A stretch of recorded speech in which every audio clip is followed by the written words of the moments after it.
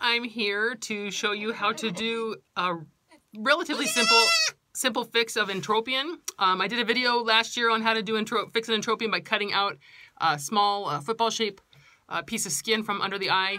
This is not a real bad entropion, so I'm going to fix it with a penicillin shot, hopefully. Um, if this doesn't work, this is my first thing I do, and if this doesn't work, then I go ahead and, and opt to remove the actual um, piece of skin. But if you start with the penicillin, it's kind of nice because the, the penicillin uh, irritates the, the tissues underneath this area and it'll actually stiffen it up. So the, the actual pressure of the penicillin rolls the eye lashes off the eyeball. And then just the irritation of the penicillin in that tissue actually causes it to like get stiffer. So it holds it that way when it finally absorbs the, the penicillin. So this is the little baby goat that we're gonna do. This is really hard for me to video. There he is. And uh, you probably can't see because I got the light going on my. Whoa. And you see, see how it's kind of wet wait, under wait, here? Wait, wait, wait. Oh, you can see it, huh?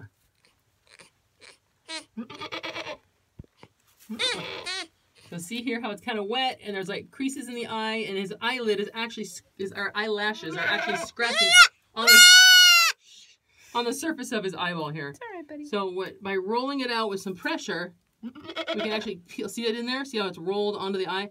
We can actually get it to, oh my gosh, I can't do it. Wrong angle. Sorry, Bubby.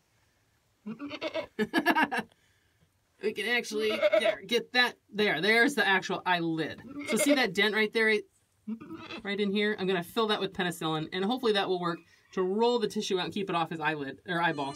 And if that doesn't work, we'll cut that piece out and uh, it'll heal up just fine that way too. But this is the first step. It's not too invasive. All right. It's all right, buddy. And go.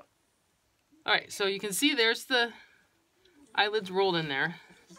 Now, it's really important that you have a good hand, a good holder like Dakota here, because this is super important. This baby goat does not move.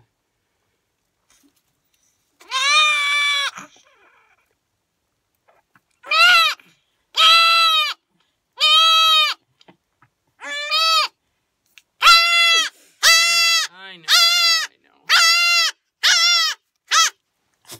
I I'm sorry, little boy. He's like, you gotta be kidding me. That was horrible. But so okay, now see, if you look, can, I don't know if you can see him. Oops, don't choke him up here. So careful. Ah. I know, baby. Here, buddy. So if you look here, that's that seemed awful, but right now you can see his eyelid is flat against his eye, right there. Ah. Oh, he's loud. he is loud, especially we're inside this little dome, so it's Poor really loud. But that ah. actually. I know, I'm so sorry. that actually is less painful for him right now. That procedure obviously wasn't probably very pleasant, but it's actually easier for him now because it's not scratching on the surface of his eyeball anymore. He has a little bit on top too, like you were saying. You're right, how it rolls over. That might just fix itself. Yeah, he might. He, you know, sometimes they have to grow into their own eyeballs. Okay, so You poor little here, baby. let him get him up here in the camera so they can see. I'm so sorry, little honey. Well, believe it or not, he'll be more comfortable tonight. And maybe it'll fix it. Maybe not. Um, But he's really cute either way. he's really cute either way. Yeah, that looked good. That worked out pretty good. It's got the got it off the surface of his eye, so at least he's comfortable for tonight. Um. Anyway, And then you have to see his sisters. They're so cute. remember we need to get him to nurse. Camera's trying to go over. Here's one sister. Oh, oh, oh, all three of them. oh, they're cute babies. Hi, babies. Yeah. We got. All right, I'm done. Ew, ew, ew. Ready? Put my knee in something gross. yeah, in here, not surprise. All right. Here's a little goat that was born on the 12th of January that we did the um, entropion penicillin shots under the eyelid there. We did it right underneath here. And Um, above on- on both sides, yeah, and above even on one of them. And as you can see, it worked.